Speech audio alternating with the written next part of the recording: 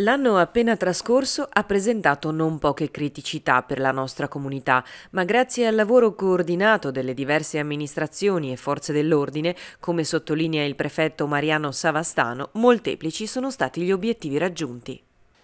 È stato un anno a dir poco complesso. Innanzitutto mi viene in mente naturalmente la guerra nel cuore dell'Europa, eh, anche la, eh, la provincia di Belluno ha colto 3.500 e oltre eh, ucraini e tutto quello che ne è conseguito, il, il rincaro dei prezzi, ehm, la carenza di materie prime, l'inflazione. Non dimentichiamo anche l'emergenza migranti e siamo riusciti a, eh, a dare loro eh, accoglienza. Un'altra iniziativa importante è quella di aver coinvolto tutti i sindaci in un'attività di ehm, monitoraggio. Ci siamo preoccupati di accertare che ogni unione montana, ogni parte del territorio avesse una sala operativa cosa importantissima, abbiamo eh, avviato i lavori per la costruzione del nuovo CCS.